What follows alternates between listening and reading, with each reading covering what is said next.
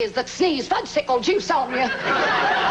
Really, Carlotta? You should learn how to rub elbows with little people more often. After all, this country was built on the common man. Yes, not unlike your reputation. I forgive you for that. Since I do appear to be in the full bud of my womanhood, while your old blossom clings to the vine by hangnail. anyway, I just came by to tell you some fantastic news. Have you decided to move away, change your name, and never contact us again as long as you shall live? No. Then you do not have fantastic news. Well, for your information, I was having drinks at the Peabody, and seated right behind me was none other than Mr. H. Philip Means, one of the editors of Town and Garden magazine, who just happens to be in Memphis searching for a fine old southern home with a fine old southern family. And you'll never guess whose humble little abode he just happens to be interested in. Whose? Ours.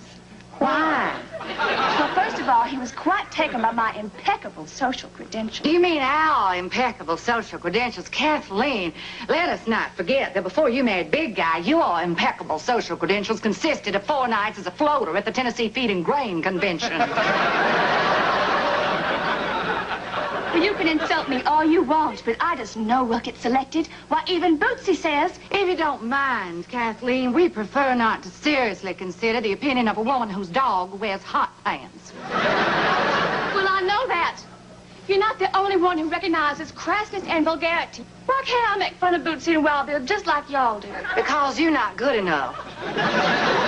Well, Missy, we'll just see who's not good enough when Mr. H. Philip Means shows up here for that interview tomorrow. Tomorrow.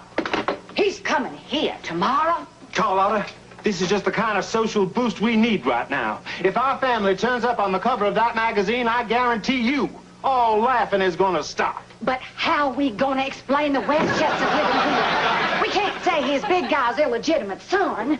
Marshall, those people could completely humiliate us We're talking about cultural zombies. Only two people in the world who bought the soundtrack to look for the union label. Well, whatever you do, don't tell them to dress up.